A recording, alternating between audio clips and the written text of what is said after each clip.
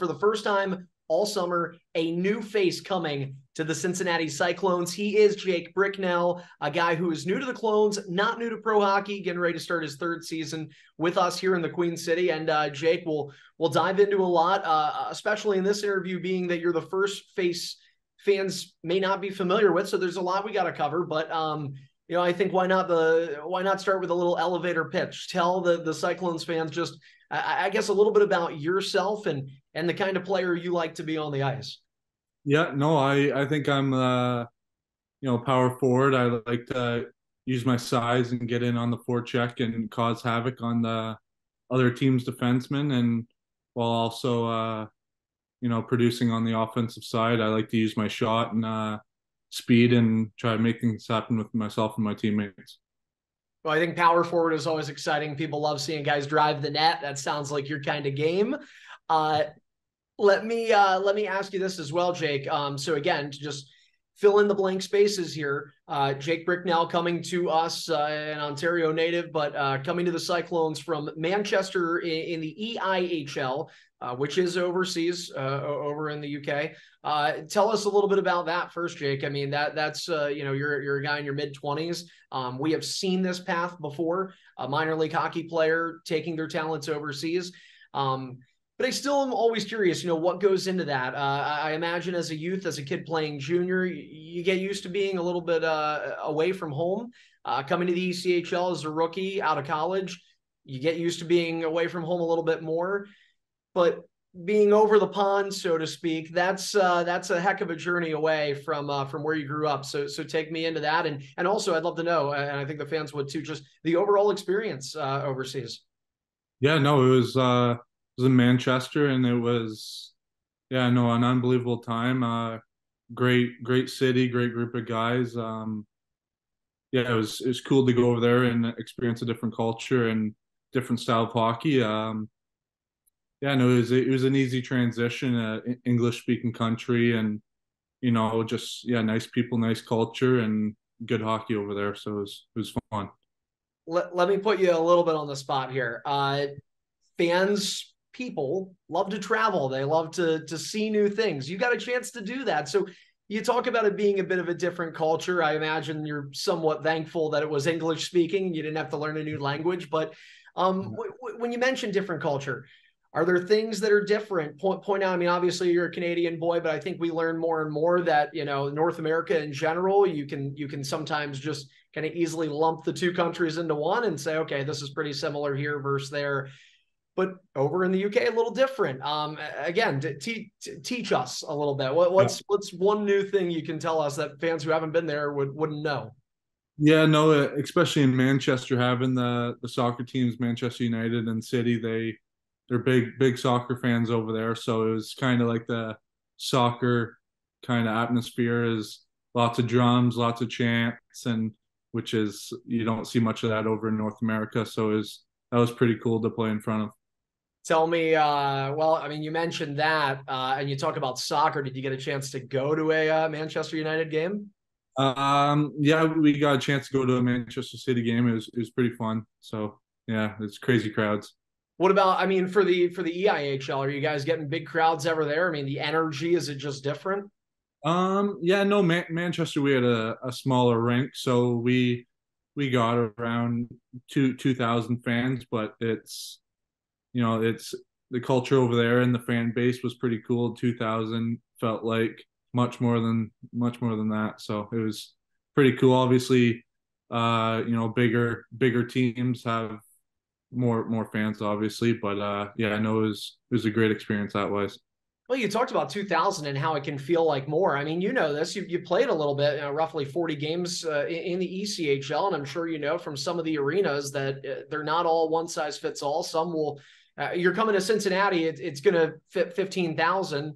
Uh, but then you go to another arena that maybe only seats four or five. I, always think of Kalamazoo. I don't know mm-hmm. if you played a game there yet or not, but um, th- that's a that's a city that you know it's a smaller building, but if they have if they're half full, which would be around 2,000, you can mm-hmm. sit there and and if you're if you're not looking and you're just hearing, you would think it's a sellout. Yeah, yeah, no, it's definitely crowd crowds can give us the momentum and it's it's a lot more funner with fans in the building and being loud and yeah.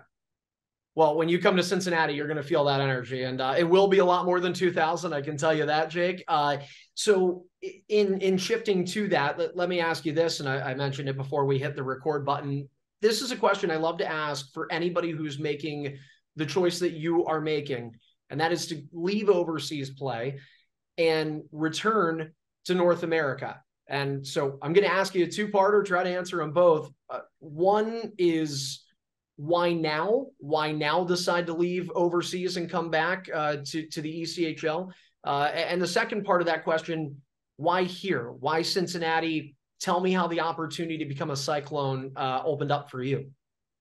Yeah, no, I, um, yeah, to answer your first question, I, I had the chance to, the offer to go to Manchester and experience a a different hockey culture and living culture. And you know it's it was always something I wanted to do growing up is go you know travel and play hockey. It, that always uh, intrigued me and I had the opportunity to do so. And obviously I did that. Um, but yeah coming uh, making the switch back over it's personally I felt it was a bit of unfinished business. I my my year in the East Coast League wasn't didn't go the way I kind of wanted to, but you know, talking to the Painter, it's um, it seems like a good fit. I'm looking forward to being an impact player right away uh, for the Cyclones, and I uh, heard nothing but good things about uh, Cincinnati as a city and as a hockey franchise. So you mentioned Painter. Tell us a little bit about that. I mean, you know, sometimes, uh, and we learn this, the hockey community is such a, a, small community, no matter how many countries and continents the game is played on. It feels like an everybody knows everybody kind of sport. Did you have any prior relationship with Jason Payne? Um, who who initiated a contact point between the two of you? I mean, how how how quick did that conversation go? Are we talking one phone call? Are we talking a couple? I don't know how much contemplation went into it, but um, if you're willing, and some players like to keep the cards to the vest, we totally will respect that. But um, what what can you peel back in terms of the conversation and the contact initiation between you and Jason Payne?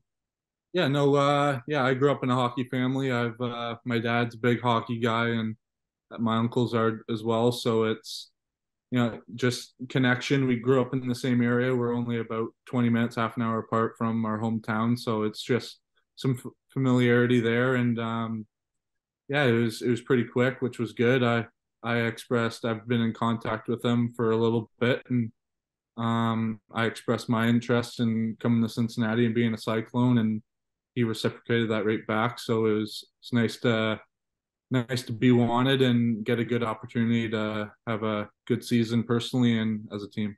Is it exciting too? I mean, you know, any player and any person can look up uh, hockey DB elite prospects. We're going to get into that about you, by the way, in a minute or two. But uh, it, looking from a team side, I mean, I, I know for me, uh, you know, bias maybe because I, I'm employed here, of course, but even prior to coming to the Cyclones, you look up the team, and I thought to myself, man, this is this is a winning team. This is a hockey club that knows how to put wins in the column and banners in the building. You know, obviously the two Kelly Cups, the team would have loved for more, but several divisional championships, several team playoff runs. Cincinnati last year had the second best record in the entire ECHL.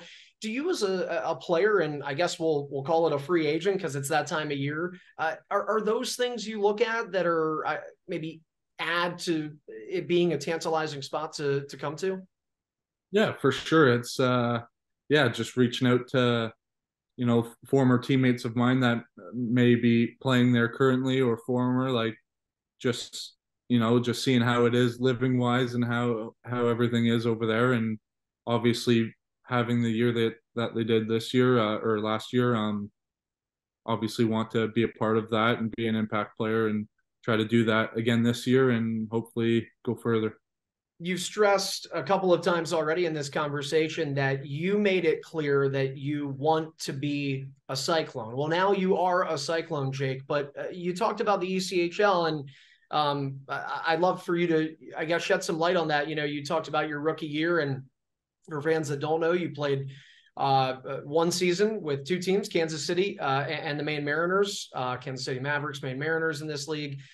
And you said, you know, it maybe didn't go exactly the way you would have liked it to. What can make it different now, uh, almost two years later?